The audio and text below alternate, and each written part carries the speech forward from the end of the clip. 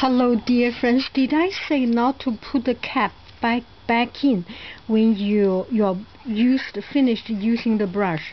And I just noticed this, and I got mushroom on the brush because uh, this brush was in the container, and uh, I think it's been five months in the ocean and until I opened it yesterday and uh, I think it was wet. I have used this and then put back in the cup because for shipping I want to protect it.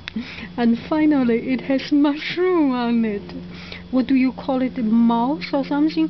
It's just the moisture after long time kept and the moisture goes into it and uh, the, the brush is not totally destroyed but uh, just um, just a reminder when you use finished using the brush use a bamboo holder like this use a bamboo uh, bamboo roller or a sushi roller or even just a piece of paper.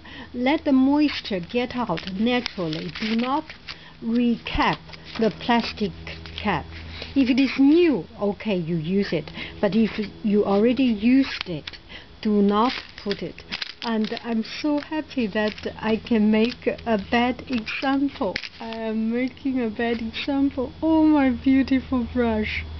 Okay, you are okay. I will wash you and you will be back again.